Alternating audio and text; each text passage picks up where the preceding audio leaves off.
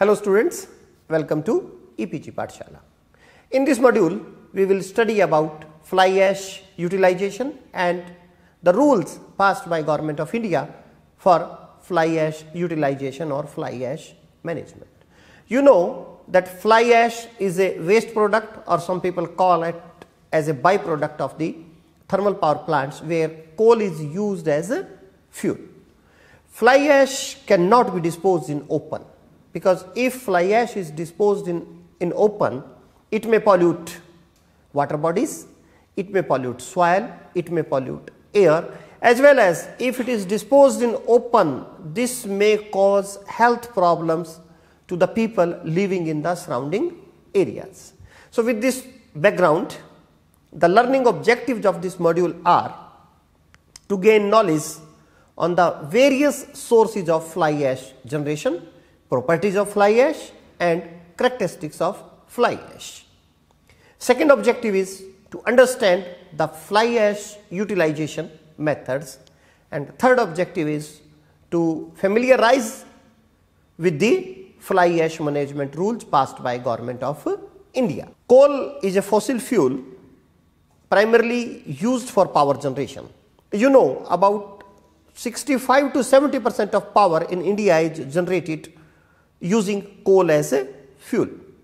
Globally, coal reserves have been estimated at over 861 billion tons.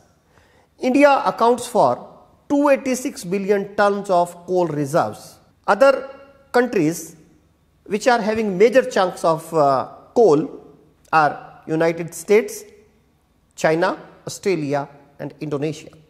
In India, it has been predicted that coal is going to exist for here for another 4 to 500 years. When coal is going to exist, exist for so longer periods, we can presume that thermal power generation is going to continue in India for many decades in the future. So, because of this we have to plan for the fly ash management otherwise the day is not far away when this fly ash will be depositing or entering into our houses. Coal meets approximately 33.3 percent of global primary energy needs and coal is used to generate about 42 percent of world's electricity. In case of India, this figure is up to 70 percent. World over, pulverized coal fired boilers are extensively used for power generation. Now, what is pulverized coal? Actually, when coal is used in thermal power plants, this coal is powdered. The coal is powdered to the size less than uh, 0.5 mm and this pulverization of coal is done so that all the coal get utilized in the kiln. Otherwise, if coal will not be powdered, a significant fraction may of coal may be wasted. This figure shows coal mines in India. India has fifth largest coal reserves in world of the total reserves 88% are non-coking coal reserves. As I told earlier about 70% of India's coal production is used for power generation with the remaining being used by heavy industries like uh, metallurgy related industries and cement industry. In financial year 2015 and 16, the coal consumption for power plants was about uh, 536 million tons.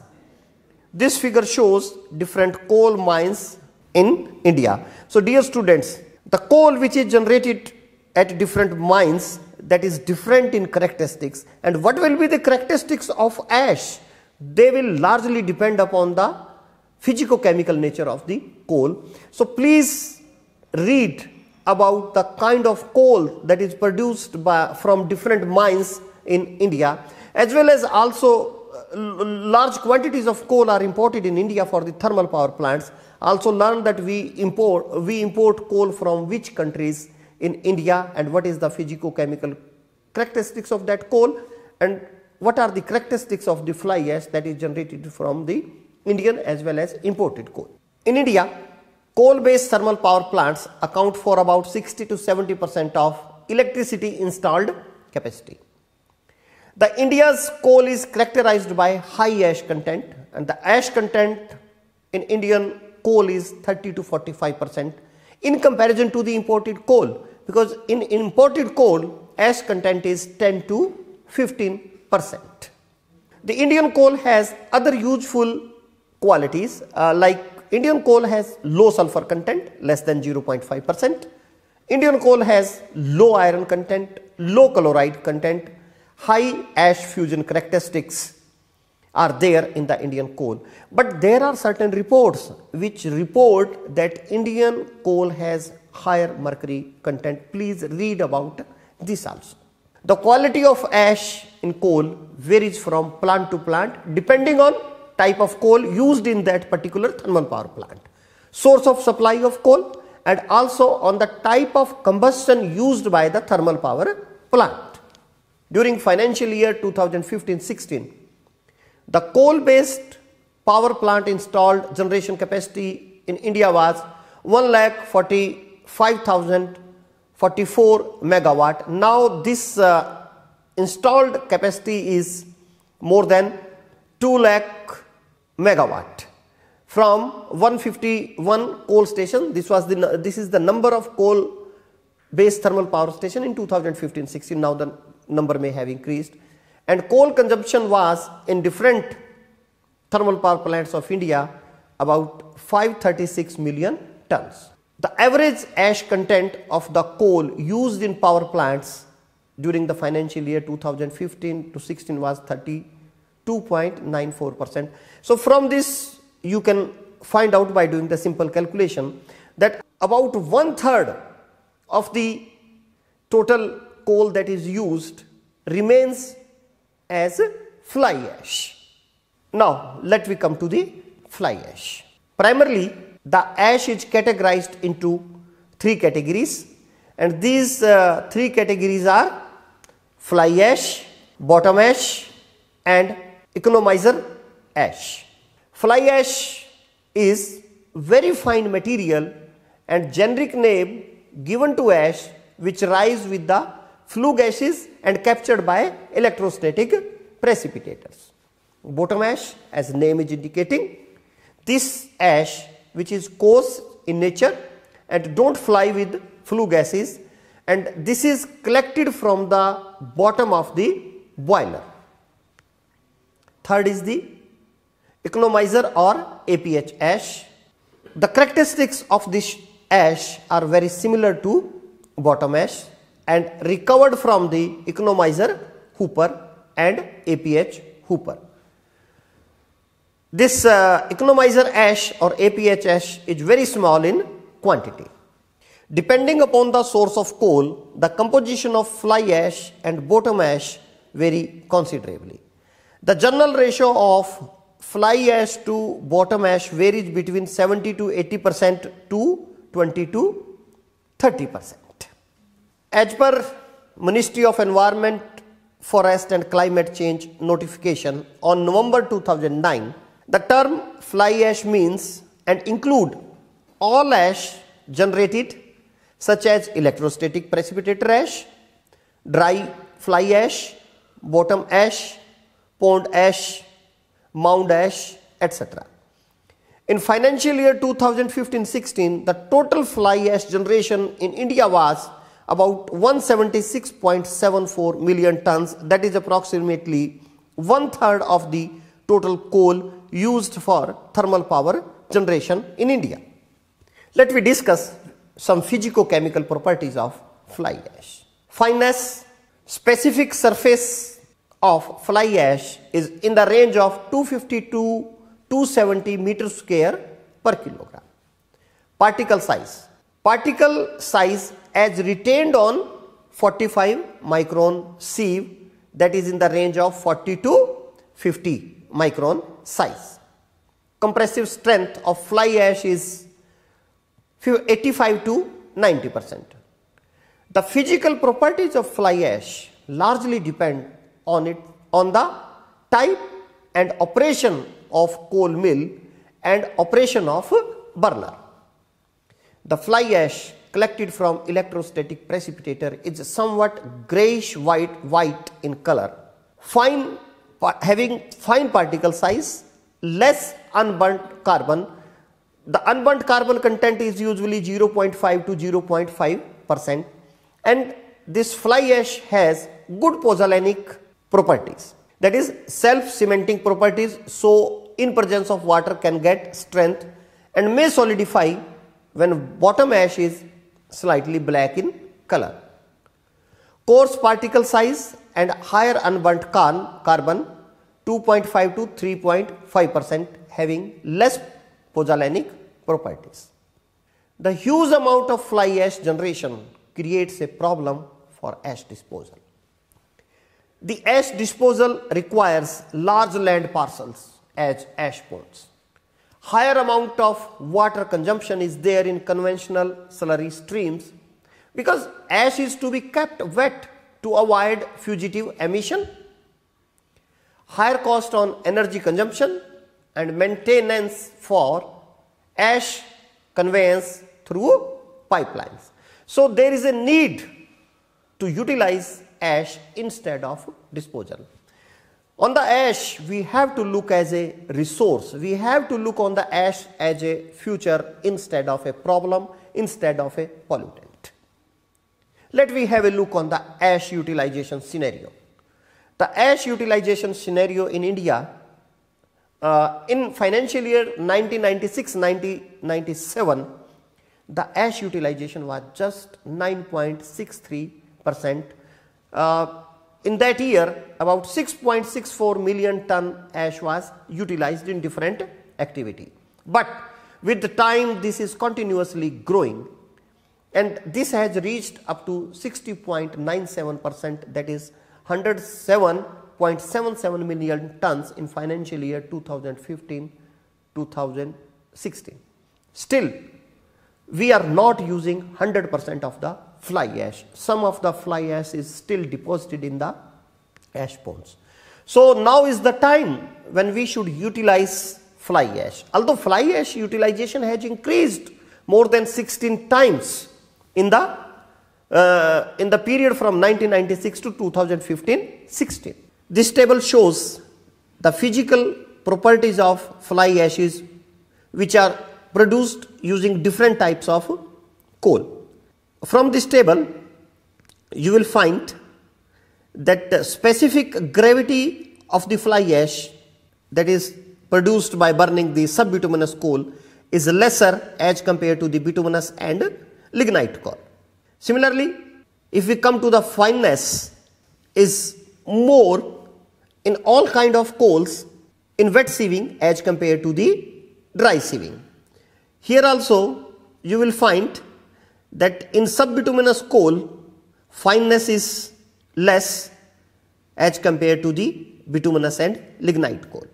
If we come to the specific surface area, the specific surface area of the fly ash varies from 215 to somewhere 450 square meter per kilogram. Again, what will be the surface area that depends upon two, three things that what is the method of burning the coal and what kind of coal and from which coal field the coal has been obtained. So, as we have discussed that the properties of fly ash will largely depend upon the coal. So, let me have some idea of the composition of coal. Silicon dioxide is present in the range of 20 to 60 percent in bituminous coal, 40 to 60 percent in subbituminous coal and 15 to 45 percent in lignite coal. Similarly, aluminium oxide is lesser in the bituminous coal as compared to the subbituminous coal. Whereas iron oxide is present in lesser quantities in subbituminous and lignite coal as compared to the bituminous coal. On the other hand, calcium oxide is in the range of 1 to 12 percent in bituminous coal, 5 to 30 percent in subbituminous coal and 15 to 40 percent in lignites. Whereas magnesium oxide is lesser than calcium oxide in all type of coals and minimum quantities of magnesium oxides have been found in bituminous coal and highest quantities of magnesium oxide are found in the lignite coal. So based on this table we can conclude that the chemical constituents are variable in different type of coals. Now, let me come to the utilization of fly ash. Fly ash is a pozzolanic material. What is pozzolanic material? Pozzolanic material is a material that is having all cement like properties but except binding properties. So, pozzolanic materials are defined as siliceous and aluminaceous material which in itself possess little or no cementing properties.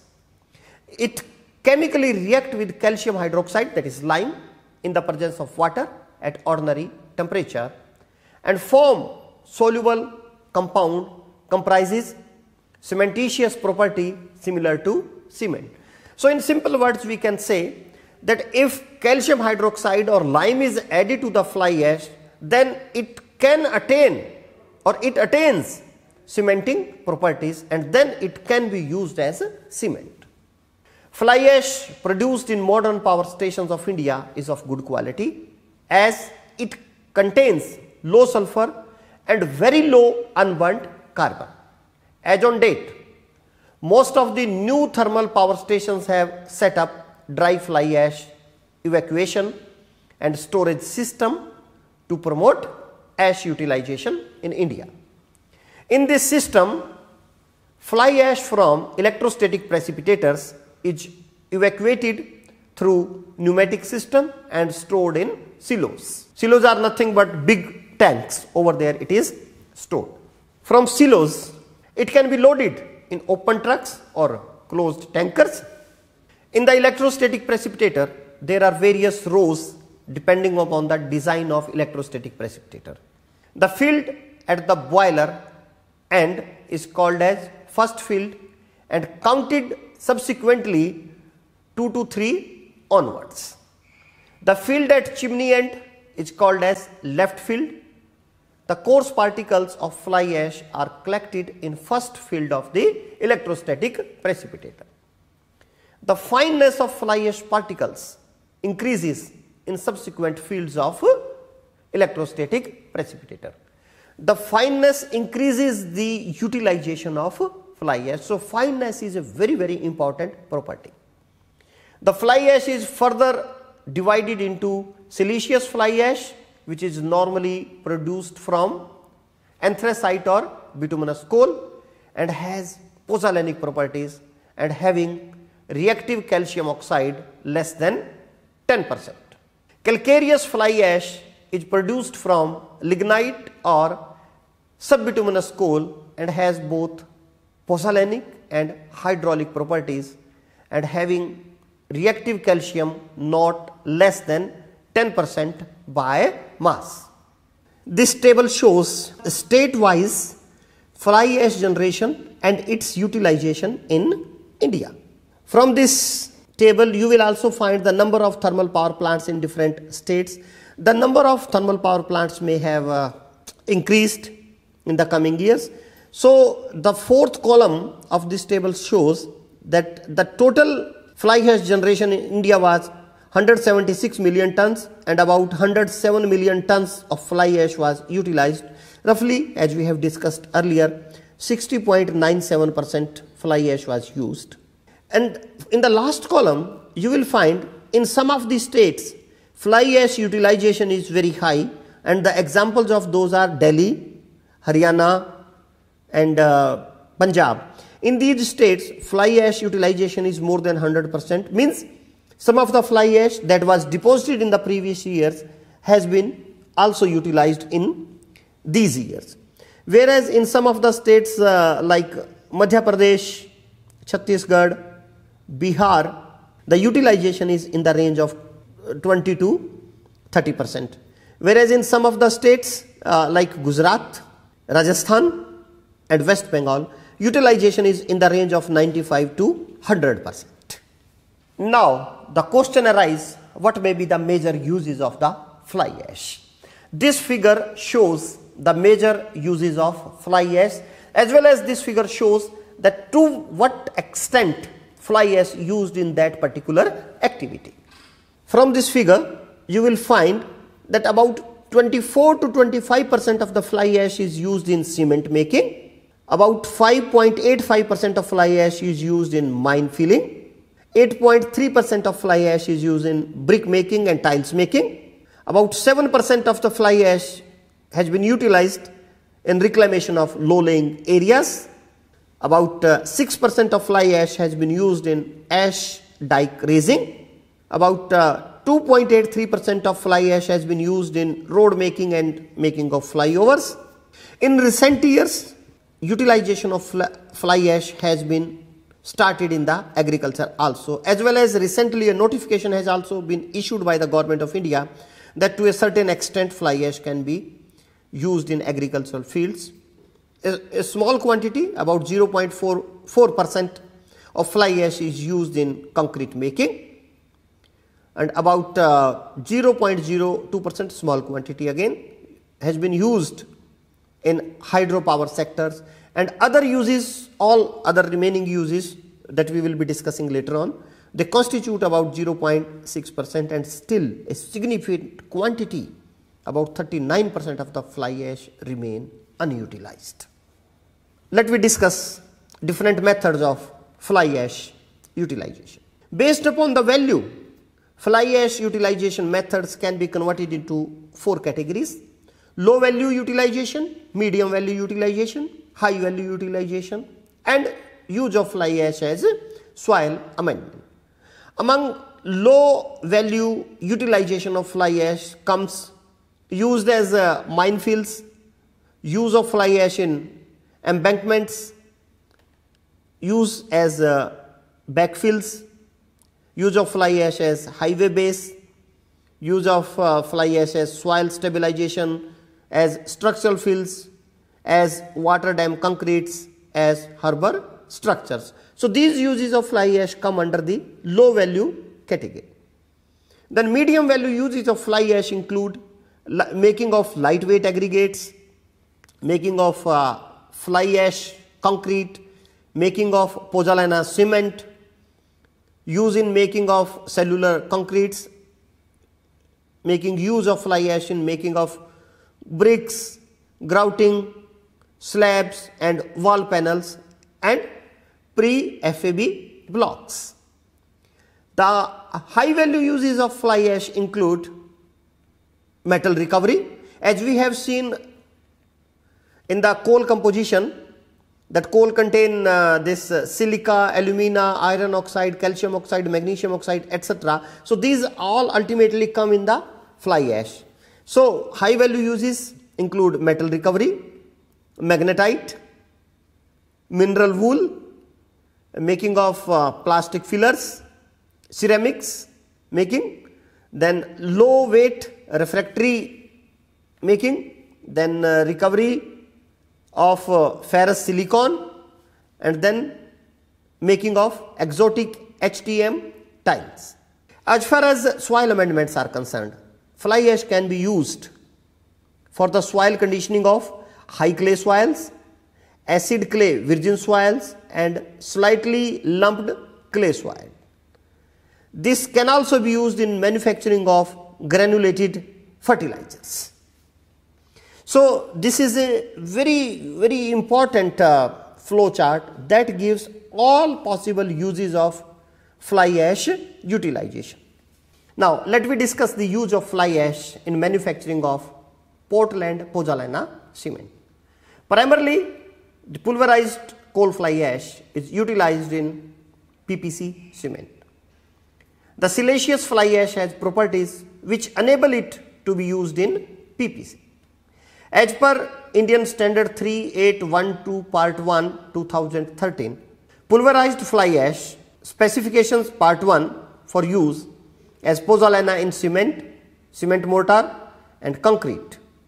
The term pulverized fuel ash is residue resulting from combustion of ground or powdered or crushed bituminous coal or subbituminous coal. This pulverized fuel ash is divided into two categories grade 1 for use in cement, mortar and concrete and in lime pozzolana mixture and for manufacture of Portland pozzolana cement. Grade 2 fly ash is used for incorporation in cement mortar and concrete and in lime pozzolana mixture. This table shows the chemical properties which the fly ash should have for their use in cement, cement mortar and concrete. These uh, chemical properties have been taken from the IS 3812 part 1 2013 Dear student, I'll suggest you please read this Indian standard 3812 so you will get more and more idea about the use of fly ash in cement, cement mortar and concrete. This table shows the physical properties of fly ash which are required for uh, its use in cement, cement mortar and concrete. The properties are different for grade 1 and grade 2 fly ash and these have been taken from the Again IS 3812 part 1 and 2 please I will again request you to use this or to study this Indian standard. The pulverized coal ash can also be utilized in admixture in cement, mortar and in concrete. The quality of ash utilization for this purpose is again governed by Indian standard 3812 part 2 2013. Grade 2 fly ash with the lower threshold limit in physical properties can use as admixture in cement mortar and concrete. The disadvantages of this process is that early strength of concrete is lower and higher strength is developed by 50-60 days after. Some fine adjustment with aggregate water may increase strength in early days also. This method of fly ash utilization adopted for mass concrete work where initial strength does not matter. In second way, the fly ash is simply added to the concrete without replacing the OPC. This method provides strength at all edges of the concrete mass. Let me have a look on the use of fly ash in road em embankment, flyover and low laying area filling. The bottom ash and poured ash is slightly coarser in nature as compared to the electrostatic precipitator fly ash.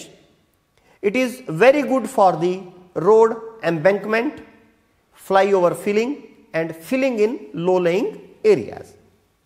The statutory authorities also focused on the utilization of ash in national highways. In eastern peripheral way, the ash from Dadri thermal power plant uh, that is in Uttar Pradesh and Badarpur thermal power plant were utilized. Fly ash replaces the soil in the embankment. Here when we use fly ash it means we are preserving one our resource that is soil. The main issue arises is that the availability of the ash is proximity because if we have to transport from the dist uh, large distances uh, to this fly ash then the process will be costlier and become a hurdle in the ash utilization. The another use is cenospheres. Cenospheres are lightweight, inert, hollow sphere filled with air, light gray in color and mainly made of silica and alumina. Cenosphere gets separated from fly ash when fly ash is mixed with water. Due to lightweight, the cenosphere float on the surface and can easily accumulated. Large quantity of cenosphere are collected from thermal power plant having conventional wet slurry system for ash disposal. Cenospheres have low thermal conductivity, high electrical insulation chemically inert, resistant to wear and tear and good sound proof characteristics. These properties make the cenospheres very valuable material and used in making the plastics, polymers, rubber, paints, refractory, automotive composites, aerospace coating, propeller blades, etc. Fly ash can also be used in geopolymer and use of bottom ash as replacement of river sand. So till now we have discussed about fly ash generation and its possible and potential uses and what quantities of the fly ash are at present used in our country. Now, let me have a look on the different rules that have been passed by the government of India. Rules applicable on ash generation, management and utilization.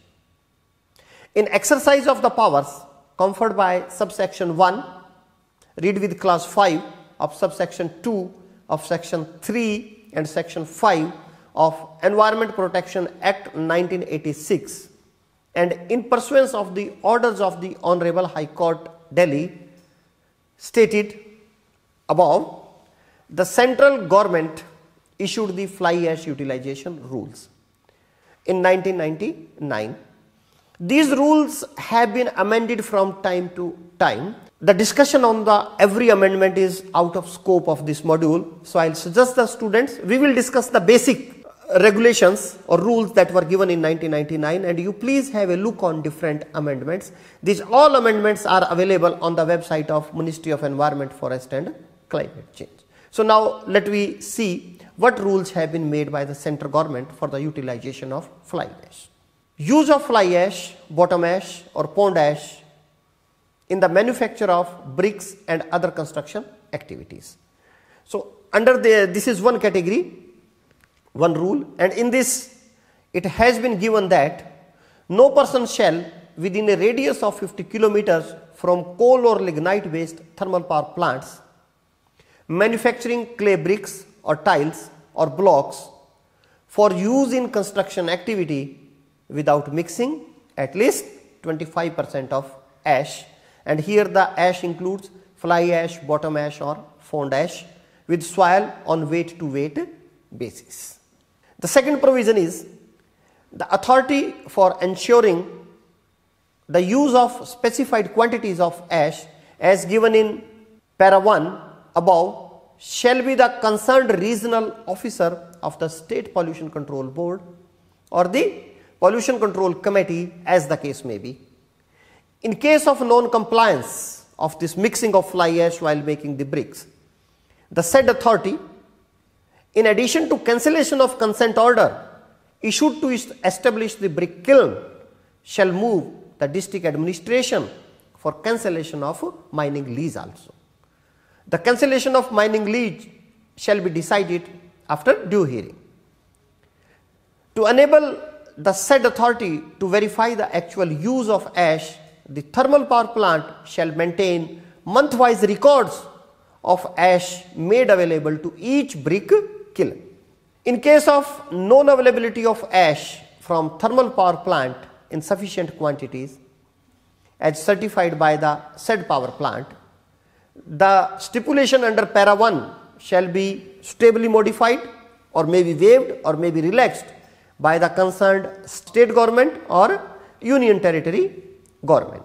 Each coal or lignite based thermal power plant shall constitute a dispute settlement committee which shall include the GM of the thermal power plant and a representative of All India Brick and Tile Manufacturer Association.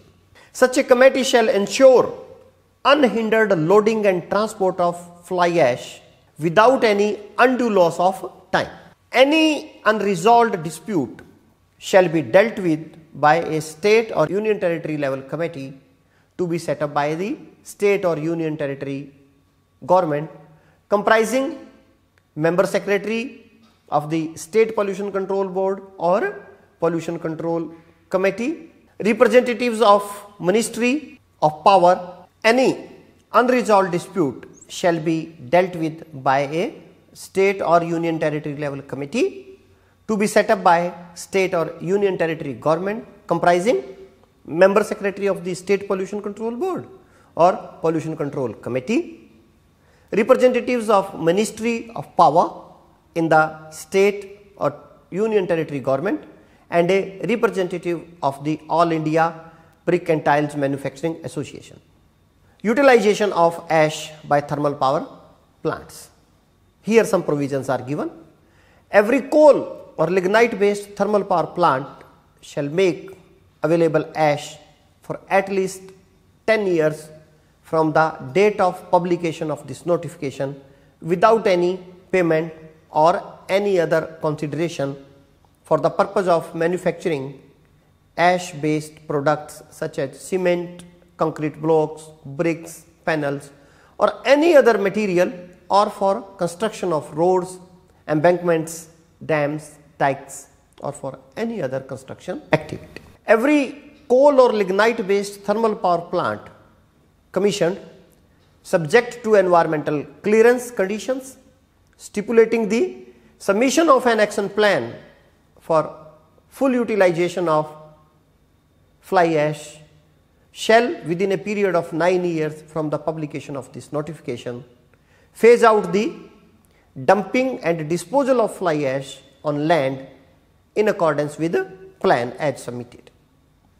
Such an action plan shall provide for 30 percent of the fly ash utilization within 3 years from the publication of these notification with further increase in utilization by at least 10 percent every year progressively for the next 6 years.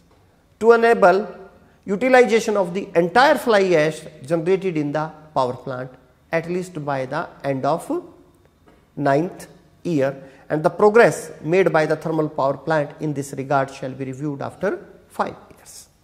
Another provision is every coal or lignite based thermal power plant not covered by para 2 above shall within a period of 15 years from the date of publication of this notification phase out the utilization of fly ash in accordance with an action plan to be drawn up by the power plants. Such action plan shall provide for 20 percent of fly ash utilization without within 3 years from the date of publication of these notifications with further increase in utilization every year progressively for the next 12 years to enable utilization of the entire fly ash generation in the power plant. As per these guidelines, by now all fly ash should have been utilized in one or the other activity, but you know we have studied just now that still about one third of the total fly ash generated is not utilized.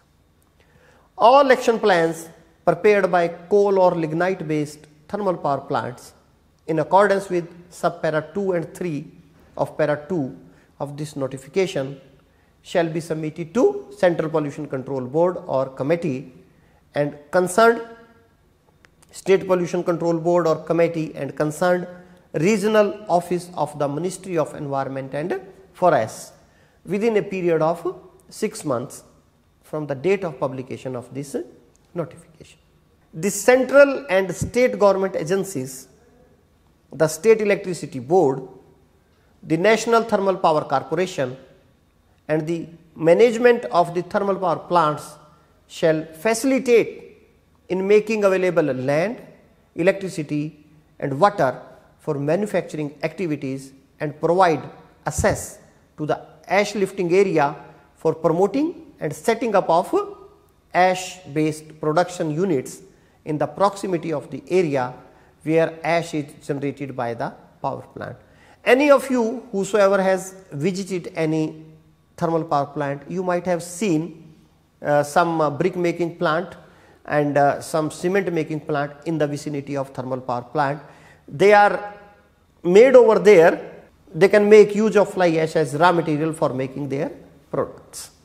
Annual implementation report providing information about the compliance of provisions in this notification shall be submitted by the 30th day of April every year to the Central Pollution Control Board, concerned State Pollution Control Board or committee and the concerned regional office of the Ministry of Environment and Forests by the coal or lignite based thermal power plants. Third category is specification for use of ash based products. Manufacture of ash based products such as cement, concrete blocks, bricks, panels or any other material or the use of ash in construction activity such as in road laying, embankment or use as landfill to reclaim low lying areas including backfilling in abandoned mines or pit heads or for any other use shall be carried out in accordance with specifications and guidelines laid by the Bureau of Indian Standards, Indian Bureau of Mines, Indian Road Congress, Central Board, Central Building Research Institute, Roorkee, Central Road Research Institute, New Delhi, Building Materials and Technology Promotion Council, New Delhi, Central Public Works Department, State Public Works Department and other central and state government agencies which are related to this. The Central Public Works Department, Public Works Departments in the states and union territory governments, development authorities, housing boards, National Highway Authority of India and other construction agencies including those in private sector shall also prescribe the use of ash and ash based products in their respective schedules of specifications and construction applications including appropriate standards and codes of practice within a period of 4 months from the publication of this notification. All local authorities shall specify in their respective building bylaws and regulation the use of ash and ash based products and construction techniques in building material, roads, embankments or for any other use within a period of 4 months from the date of publication of this notification.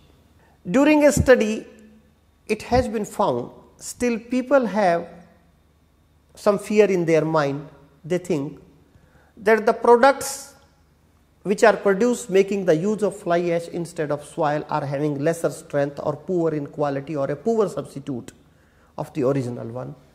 So, in this regard more research is required and more social awareness is required so that people can make use of fly ash based products.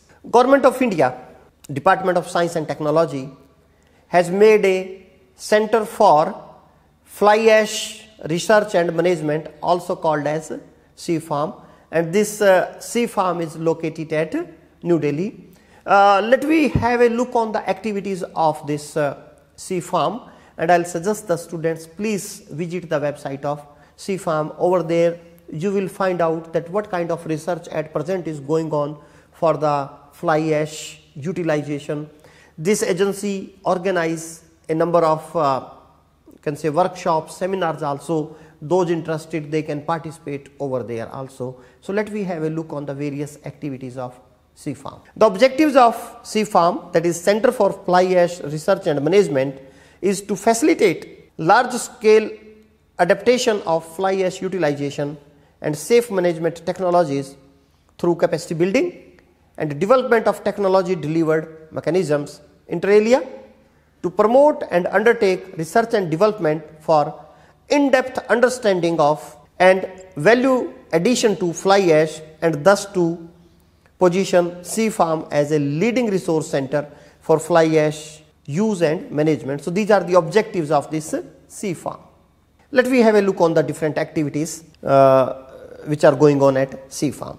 The activities include to undertake, promote and facilitate research and development in the area of fly ash, to provide technical support and facilitation for large scale utilization and management of fly ash, to undertake and facilitate dissemination of information and awareness creation, to develop wide network of technology delivery mechanism through experts and institutes, to undertake and conduct short term courses, technical forms, trainings, technical seminars and conferences means with the objective of capacity building.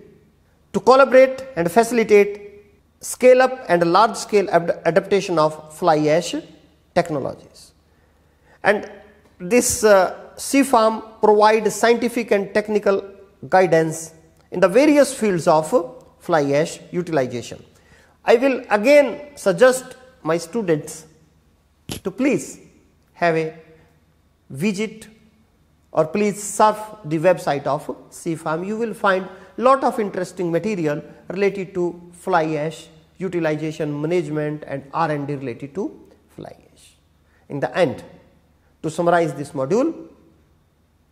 In this module, we have studied about fly ash, its definition, sources of fly ash generation, physical and chemical properties of fly ash, state-wise fly ash generation and state-wise fly ash utilization, different type of usage of the fly ash and we have also studied about fly ash regulation passed by government of India. Here I will suggest the student, I will remind you that a number of amendments have been given to the 1990 rules. So please read those please read those rules so that you have a complete idea of fly ash management rules passed by the government of India and in the end we have studied about CFARM that is a agency company that is created by the government of India for the technology development, capacity building and R&D in the field of fly ash management. Thank you.